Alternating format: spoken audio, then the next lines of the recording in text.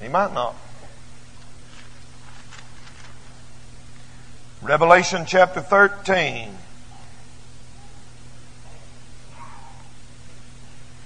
Revelation chapter 13.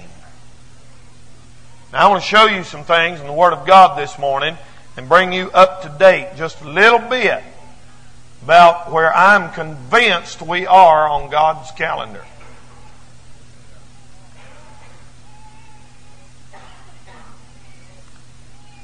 Revelation 13. I'll give you just a second get settled down. Everybody settle down. No talking. Please, nobody else get up. No kids have any business getting up at all. Every kid, be still. Revelation 13. Now, the Bible predicted a time here that people used to laugh at. Verse 16. Revelation 13 and verse 16. And he causeth all, this is the Antichrist that'll be on the earth at this time, both small and great, rich and poor, free and bond, to receive a mark in their right hand or in their forehead notice the terminology the Bible used there, that in. We usually think of it as on, which of course it is, but the Bible specifically used the word in, right hand, or in the forehead, like an implant. And um, then their forehead, that no man might buy or sell, save he that had the mark, or the name of the beast, or the number of his name. Here is wisdom. Let him that hath understanding count the number of the beast. That's the Antichrist. A beast in the book of Revelation represents a king or an a kingdom. For it is the number of a man, and his number is six hundred threescore and six. Now I want to preach to you just for a few minutes on 666 is coming. The Bible prophesies of a seven year period called the Great Tribulation, a time of unheard of destruction, trouble, and problems in this world. Matthew 24, the Lord said it would be a time like the world had never seen before or it would never see again. The question is this morning, how close are we to that time taking place? I want to present to you some facts that'll startle you this morning. It's going to be shocking to you, some of this, but it's, uh, it's true. It's been researched and it is documented. We are at the point for the Antichrist kingdom to be set up. We're there. I've heard people say, well, doesn't this have to happen? Doesn't this have to happen? There is nothing that has to take place scripturally before the Lord could come back and rapture us out of here and take us home. Nothing, nothing. It could happen today. The coming of Christ is what we call imminent. That means it could happen right now. The Lord could take us out of this building this morning and home to be in heaven. I read something in a paper the other day of a a book that Nostradamus printed. This, you know, oh, you have a lot of these great psychics and prophets like he was, and I'm not saying he was a Bible prophet. He wasn't. He was not. But he, the old boy, he is getting something from somewhere. And uh, you know what he said? They were all stirred up about it. He said in his book that on September 11th, this has been years and years and years ago, he said on September the 11th, 1994, which will be this coming Saturday, 693,000 people will ascend directly into heaven without dying. Isn't that weird? You say, well, it ain't going to happen this Saturday. No, it probably won't. And I sure hope and pray there's more than 693,000. That's getting on down into the Jehovah Witness number figure. They only got 144,000. But I believe there's more than 693,000 saved people. But what I'm saying is, all, even the weird prophets of our generation have all looked forward to this period of time that you and I are living in and saying something big is going to happen. Do you know that every 2,000 years God does something major? You know, from creation there until around the time of Abraham, the flood, and then 2,000 years went by and Jesus died on the cross, and now 2,000 more years have almost gone by, and we have 1,000 years of peace left. That's with the Lord sitting on the throne after He comes back. Do you realize this morning that we are in the last tenth of the last tenth of the sixth millennium? If God gives man six millenniums on earth, pictured by the six days of creation, one day represents a thousand years, a thousand years represents a day. If God does that, we are in the last one tenth of the last tenth of the last thousand years before Jesus comes back. We are in the last few days and moments before the Lord comes. I have uh, somewhere in my possession, I don't know if I still got it, a rock album, doing all my stuff on rock music. There is a rock singer by the name of Nina Hagen. Hagen, H-A-G-E-N, is it pronounced in Germany? And Nina Hagen, when she sings, there's like five voices come out of her mouth. Some of them deep and gruffy like a man. Some of them high like a woman. And she's got this picture of her like the Virgin Mary and a baby in her arms on her album. And all her songs talk about, is UFOs coming to this world and taking people out of here. The world recognizing that there's going to be something drastic happen in the near future. They are trying their best to make contact. The United States government just spent recently, I forgot how many millions of dollars trying to make contact with something or someone out there. They just can't believe that we're the only ones here. And we're not. And brother, they are something in outer space, but it's not little green men, and they don't eat Reese's Pieces and they and you and you uh, and you they're not your friends. I promise you, they are not your friends. You say, well, I believe they're going to come and teach us how to get along with people and bring peace on earth. No, uh, they're coming as demons in the tribulation to add to the torment of the wicked. And they're going to say, I'm going to tell you what happened to all them people. We took them up and they're having to be rehabilitated because they believe that the Bible's true and they believe in sin and hell and judgment and all that stuff. So we had to take them to Alpha Centauri, 20 million light years from here, and they're going to be rehabilitated. That's how they're going to explain the rapture when we all disappear. That's going to happen, brother. That's going to happen. How close are we? Well, just listen to this. Listen to this. The Omni magazine recently made the say cash and credit cards will soon be obsolete. They say the cashless society, it's in the cards. Uh, Jordan's president that Hussein, not Saddam Hussein, but Jordan's president with the, the name Hussein, said that the world is headed for a dictatorship.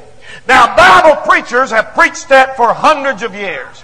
When them old time preachers got up a hundred years ago in the 1800s and they said, one of these days there's going to be a man and this man's going to run the whole world and he's going to make everybody put a mark on their hand or on their forehead and you're going to do your business transactions by that mark, people laughed at him.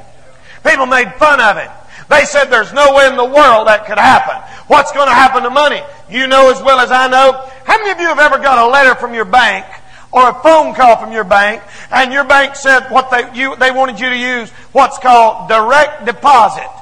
Which means your check don't come to you. It goes directly to the bank. They deposit it and you never see your money. You just write checks for it. Anybody ever been told about that? All right. That's just right around here in little nowhere, Marion, North Carolina. You saw the hands that went up. You know what this is? A move towards a cashless society. Now picture it this morning.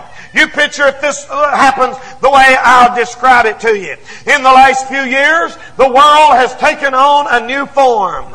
As the Berlin Wall came down, you hear more and more talk on uh, the end of the Cold War about what's called the United States of Europe. Bringing all nations together. Everybody's talking nowadays about the world working together and our, our, the one global community. And we're all really here together and to save each other and to save the planet and all of that stuff. What the world is looking for this morning is a man that can lead us out of our problem. The world wants a man who can solve the drug problem. The biggest problem America has right now, they say, it's not really, it's sin. But drugs, drugs and crime, right? Drugs and crime. It's not really the crime, it's the drugs. The drugs cause the crime. When a person gets on cocaine, they'll do anything to get more ca- cocaine. Somebody just told me that this week. Young lady struggling with a cocaine addiction. She said you wouldn't believe. She said it's taken over McDowell County. That's what she told me just this week. It's everywhere. And young people by the thousand are getting on it. Now what we need is somebody to solve the drug problem. Do you know how a man could solve the drug problem?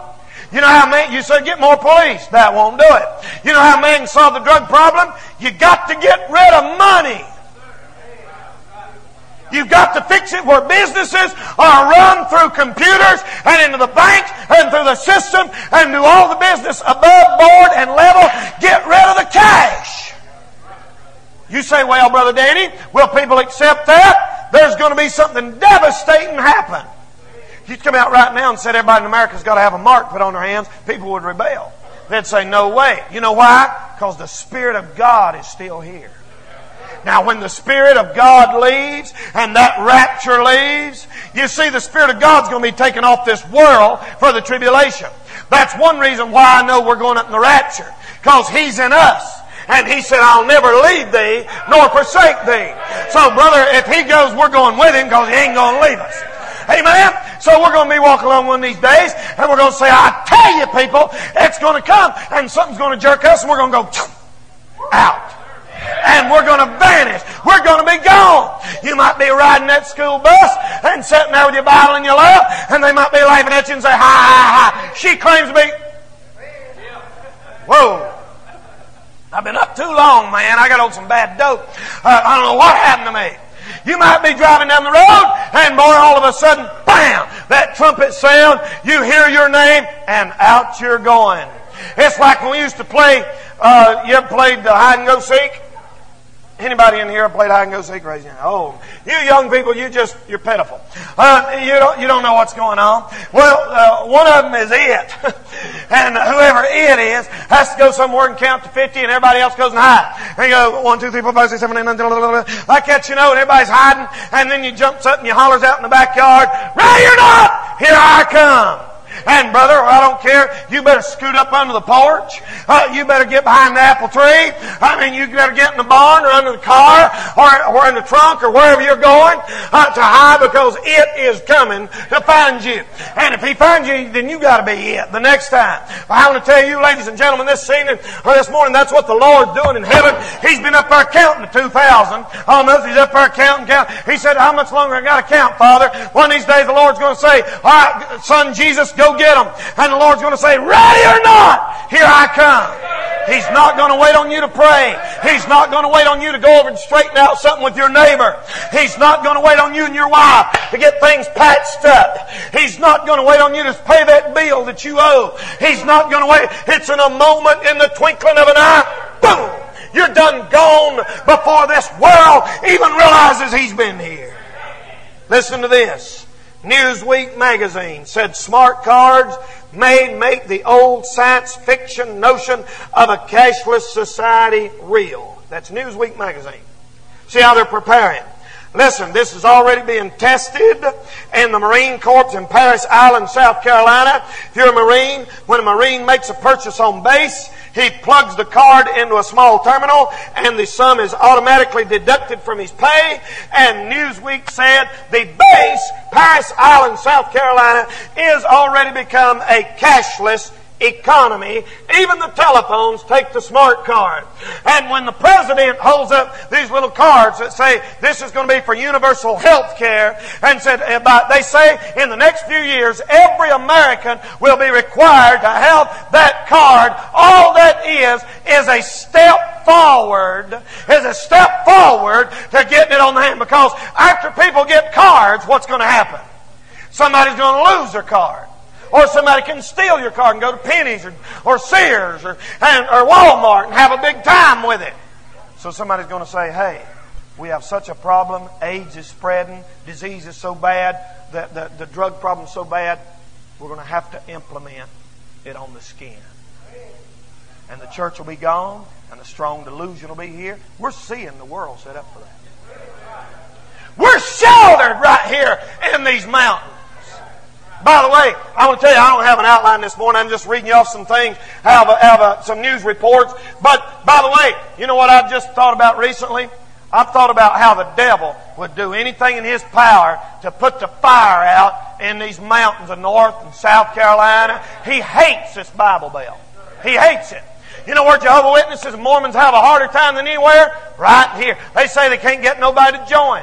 You know why? Because even sinners around this part of the country got better sense than to join a religion that don't even offer them nothing to start with. I mean, if they ain't no hell, what's using going to their church and sitting there listening to boring Bible studies? I'm just go fishing or something, man. And if you ain't one of the 100, chosen 144,000, you ain't going to heaven. No, I wouldn't fool with it. I'd just say, forget you, man. I'm going, I'm going to play ball or something and just let the Lord take care of that. But they can't get a foothold in these mountains. Now, the New Age movement is sweeping this country. Brother, worshiping, uh, you know, they, these hippies that ain't. I believe some of them same people as at Woodstock 94 was the same ones as at the first Woodstock. Did you see their picture? I didn't see a lot of I, I think they had on the same clothes that they wore in 1969. They still have that same old Volkswagen van, man, with the flowers on it. And they, they're ready. They're ready, man. This wall is getting ready. Getting ready. Getting ready to receive a dictator. By the, by the time these next two years is up, America's going to be willing to take anybody. I'm telling you. I'm telling you the truth. Lord in mercy, man.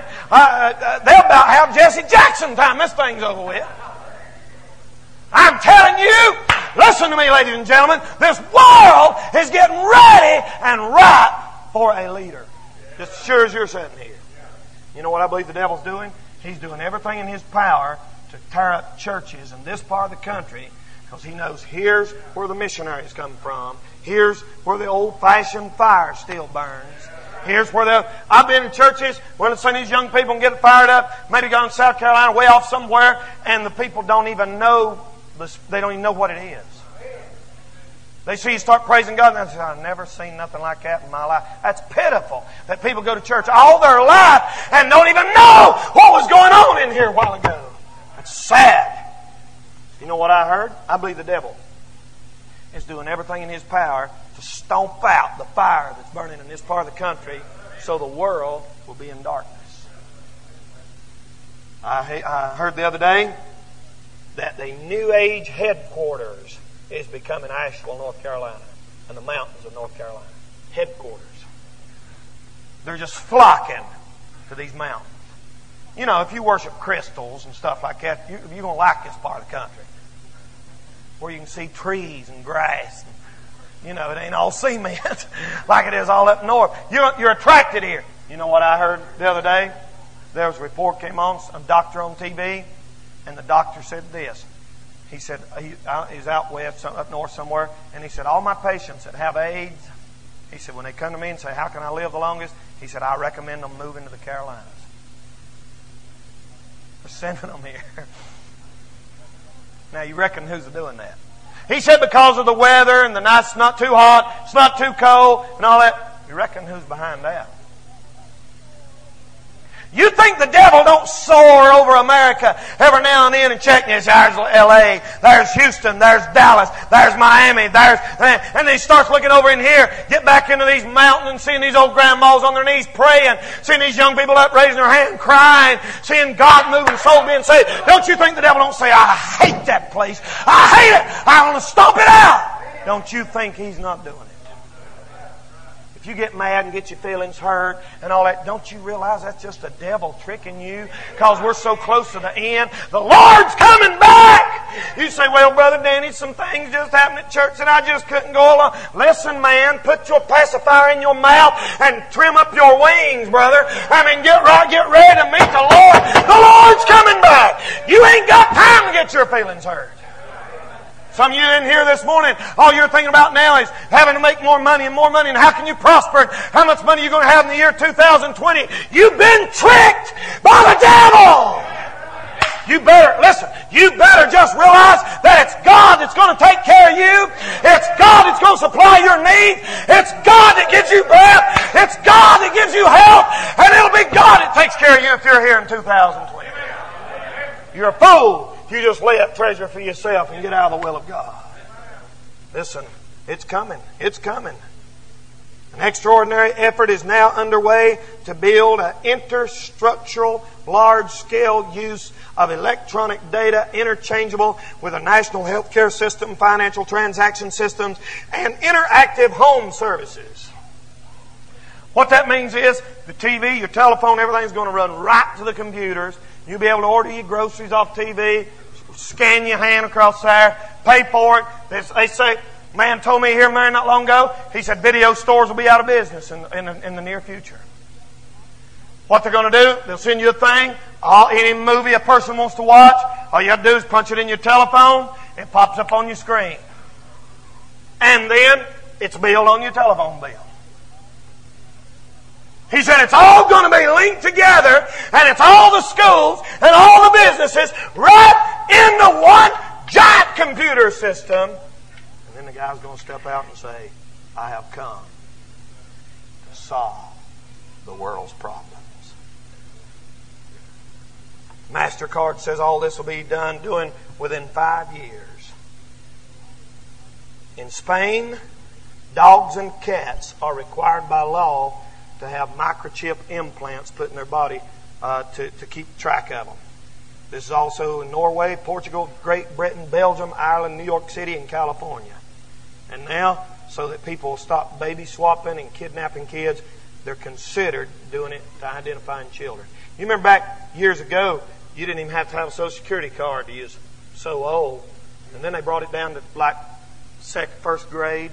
And then they brought it down to two years old. Now it's birth, brother. Now it's birth. The automatic ID news in April said everything that is being used in the military system has been or will be marked with a barcode, even down to individual soldiers.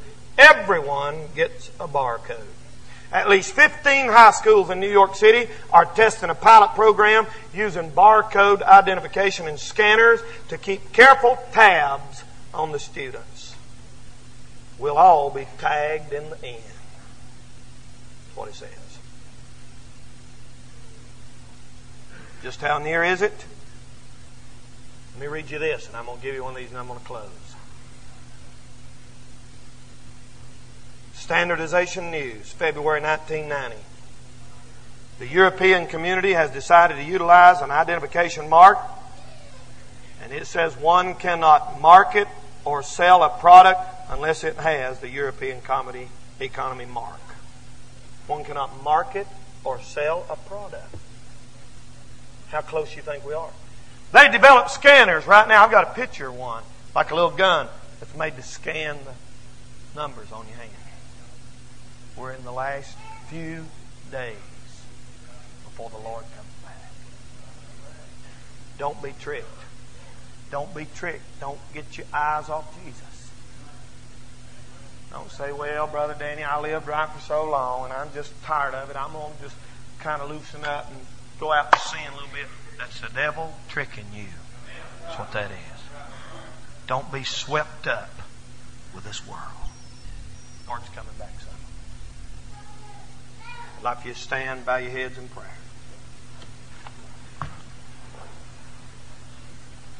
Every head bowed and eye closed. There's a lot more I could give you there, but I'm going to stop right there. Our heads are bowed and our eyes are closed. I want to ask you a question. The question is, if the Lord come back today, are you ready? You say, well, preacher, I know I'm saved. Well, good. I'm glad. Now, the question is, are you living the way the Lord would have you to live? Some of you used to live right. You did live right. Now what's happened to you? You let the devil and the world get your attention. Maybe there's somebody here that's never ever been saved. You've never been saved. Deep down inside, it scares you. When I start talking about the Lord coming back and us vanishing, it scares you. Why don't you come to this altar this morning? Some's already coming. Why don't you just get out of your seat? We're going to sing that old song, Just as I am without one plea. That thy blood was shed for me. He's coming, friend. I'm telling you, the Lord's coming soon. Maybe today, maybe tomorrow, maybe this week. He's coming soon. Is your life counting for Him? Heavenly Father, I pray for that man, or that woman, or that boy, or that girl, whoever it is, wherever they're sitting or standing. Lord, that you'd speak to their heart this morning. Help them to get ready to meet Thee in the air. And we'll thank you for it. In Jesus' name we pray. Amen. God's dealing with your heart this morning. You be brave enough to come. Come on right now. Come on. Come on right now. Everybody say.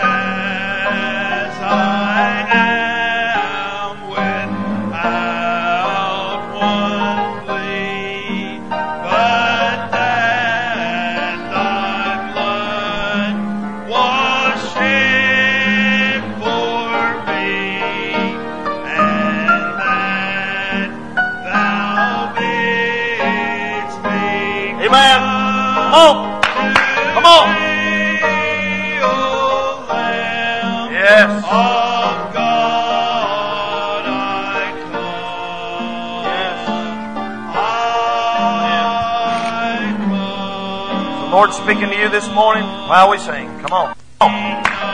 Move right now. Move right now. Get it right this morning.